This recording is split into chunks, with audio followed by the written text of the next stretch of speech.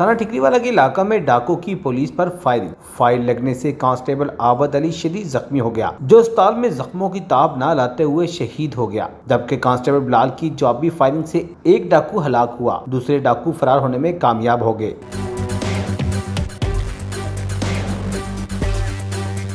इतला मिलते ही एसएसपी इन्वेस्टिगेशन अब्दुल वहाब जय वकुआ पर पहुँचे। फरार डाकू की गिरफ्तारी के लिए शहर भर में नाकाबंदी करवा दी गई। पुलिस की भारी नफरी ने इलाके में सर्च ऑपरेशन भी शुरू कर दिया। RP Faisalabad doctor Abid Khan SSP investigation और दीगर अफसरान अलाइड अस्पताल पहुँचे। सीपीओ कामरान अदल की हिदायत पर फ्रॉड डाकू की गिरफ्तारी के लिए एसएसपी इन्वेस्टिगेशन की सरबराही में स्पेशल टीमें भी तश्कील दे दी गई। सीपीओ फैसलाबाद कहते हैं कि मुलजमान को जल्द गिरफ़्तार कर लिया जाएगा।